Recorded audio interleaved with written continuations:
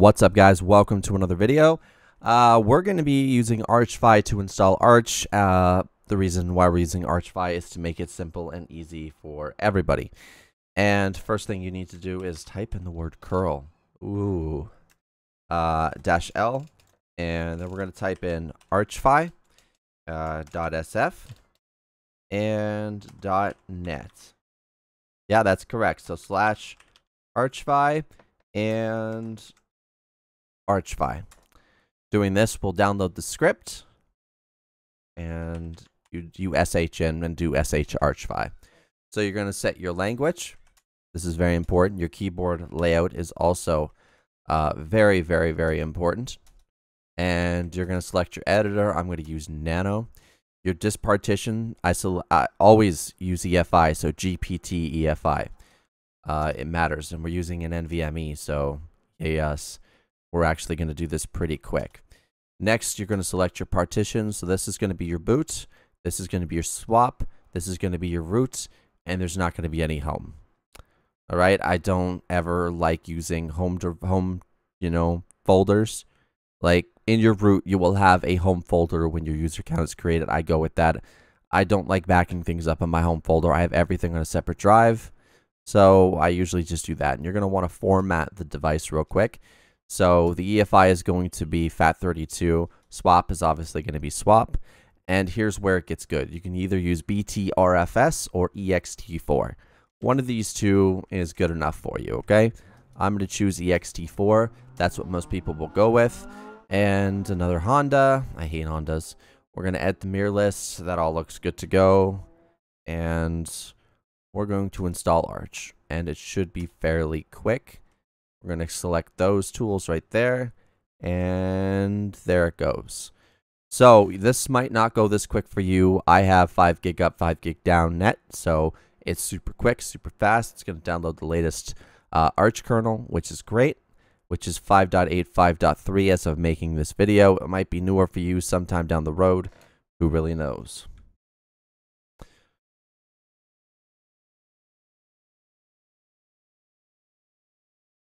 All right, on to the next thing. We're going to configure Arch. So set your computer name, up to you what you set it as. Uh, you're going to set your keyboard layout, US. You're going to set your locale, and make sure you get as close as you can. I'm going to select EN underscore US. Okay, and next I'm going to set my time. So we're going to go to Canada, Atlantic, done, and I'm going to set local. Next, I'm going to set the root password. So boom, boom, done. Uh, generate FS tab. We're going to use UUID. All right. And after that, you know, we can generate this little module in case you're using NVMe. Uh, it's up to you. I've never really had to do this, but if it recommends doing something, you may as well do it. Next, we're going to choose our bootloader, and we're going to use Grub for this video you want a custom kernel, always use grub anyway, right? I always recommend using a custom kernel anyway. Uh, that all installed, so we're going to install this. EFI. No errors reported. It's done. Great. There we go. Next, we're going to go to the extras and install all of that. Done. And we're going to do this. We're going to go as in-depth with this as we possibly can. So let's do that. So now that it's finished, downloading the package is required. First off, we're going to go to updates. I always thought this was update your Arch distro, but then no, no, no, I actually went in there. Uh, first thing we're going to install is Pacman Contrib. Uh, that helps in the second video that's going to come with this. I am going to install Yay, and I'm just going to hit enter that's going to install base-devel. You want everything that comes with that. That way you won't have any issues when compiling anything from the AUR and new password, new password successful. We're going to hit yes. It's going to install Go. Go is about, you know, a couple hundred megabytes or so. Once Go is done, we're going to continue on. It's going to download more stuff, compile some stuff, do a bunch of stuff. No need to worry about what's actually going on. All right, now that Yay is installed, what we're going to do is we're going to install downgrade. Now let me explain downgrade real quick, okay? This allows you to download your Mesa, your NVIDIA, your kernel, whatever it is. If it's causing a problem downgrade. All right, go back to the version before, and it will actually be a lot better. Now, to ensure that we have no keyring issues, which there's been a lot of lately, we're going to actually refresh our keys. Then we're going to click this button. It should go through, refresh all 120 keys. Uh, after that, we should be good to go. And that's it. Now we're going to go to install. Um, we're going to go to Xorg. This is where you're going to install your drivers, okay? But before we do that, we have to go back. We're going to go to updates. I'm going to edit the pacman conf. All right, we're going to go all the way down, and what we're going to do is enable the multi-lib repository. Uh, there's something from here that is needed to make Steam work, so I'd figure why not, right? And let's just run this for the hell of it. And we're going to run the upgrade for the hell of it, and that should be good to go. So I said, Xorg, you're going to want to go to your video drivers. If you're NVIDIA, choose proprietary click this button. If you're going to be using a custom kernel, click this button, hit enter. I always suggest using DKMS over anything else uh, because it allows you to make a lot more choices about your distro, okay? So this is actually going to take just a bit of time.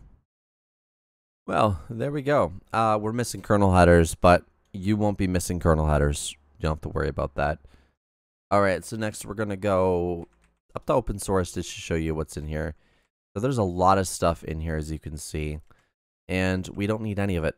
So don't bother with it. I'm just saying there's other open source alternatives that you can look at.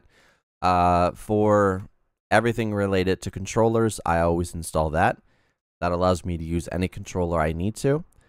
And let's continue on with the display manager, and I'm going to choose SDDM uh, it allows you the most customizability from my point of view that I've seen. And that's not going to hopefully take that much time. It's only a few files, you know, and it's downloading very quickly. So, yeah, it's pretty much done. So we want to enable this, and we're good to go on that side. Next, we're going to go to applications. So you got your office suits, okay? You don't need to worry about that. You got your internet, so I'm going to choose Chromium. And that's going to take a second to download. Well, that's finished. Uh, torrent. I always recommend using qBittorrent. Honestly, it's the best torrent that, uh, application you could ever find. So that's good. Multimedia, so GStreamer. Install what you need to from here, okay? Uh, what they already have selected is pretty good. Allows for H.264 encoding in the default GNOME uh, video player, but we're going to grab VLC. And I know I shouldn't be installing all this stuff, but you know what? hey, we're not all sim- we're not all simple-minded folk, all right? It ain't gonna happen. Some of us actually use applications and don't survive in the terminal like a bunch of monkeys. So let's do this. We're gonna install everything we need. Uh, it's probably going to download everything needed from GitHub. Good. It's probably going to compile it. Yep. And that's finished. So video player, as I said, VLC all the way. Uh, uses Vulkan by the looks of it, which is great. Makes it nice and easy to run any video. Uh, video tools, just simple weird little recorders and applications, whatever, right? This one's the most important one. This allows you to use any uh, application to install from and it's like a package manager. So you open up, add and remove and you can download or install anything you really need to okay so we're just gonna go like that and hit enter and it will compile super quick and super fast. Add or remove means you never need to touch the terminal okay? That's what most people want an easy quick to use environment where the terminal is not in play. Uh, that application allows you to do that all right? So don't ever fear the terminal. The terminal is not the reaper. Uh, unless you know the commands, there's nothing you can really do to destroy your operating system. But if you do know the commands, don't ever destroy your operating system. That's just stupid. Okay? Unless you have Ubuntu, then kill it and go with Arch and or Pop OS and you'll be way better off. So we're going to allow this to compile. All right. So I suggest only using one of those by the way. Uh because it takes like forever to build one of the other. I don't know. So it's up to you.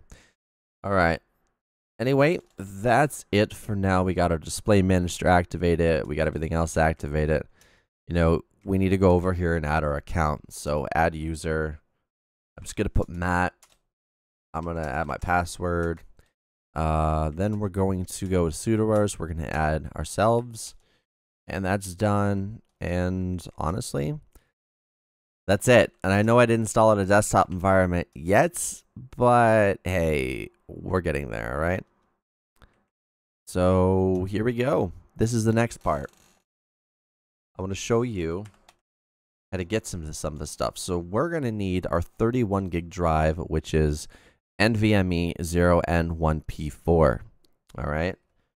So mount, I want to teach you a little bit here, slash dev slash NVMe 0 N1 P4. All right. And you want that in there. So next we're going to do arch root. Sorry, my phone went off. Arch root slash mount. And that's it. All right. We're back in to installing stuff. So first off, Pacman dash S. It's a capital S, by the way. I'm going to do git cmake. You might want all this. Make. Uh, what else do we need? Most people use Discord. Most people use Lit Lutris, right? We're going to want Steam. Uh, we're going to want GNOME. You can install KDE, do whatever you want. The desktop environment I recommend most if you're using NVIDIA will always be GNOME because it has the least issues. Then from the AUR, you can go and install what's called Mutter Performance and GNOME Shell Performance. Those will give you support for 144 hertz refresh rate or higher. So those are cool. And I believe this is it. We're just going to keep hitting enter, enter. Yes. Look how, look at all this. This is going to take a while, so I'll be back when it's finished and we can reboot into the desktop environment. Woo-wee! All right, so uh, let's do an exit and a reboot. An exit. There are no jobs to stop. Really?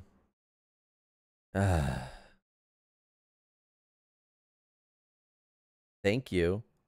What was I typing before? and uh, a reboot. And it will reboot into the distro here real quick.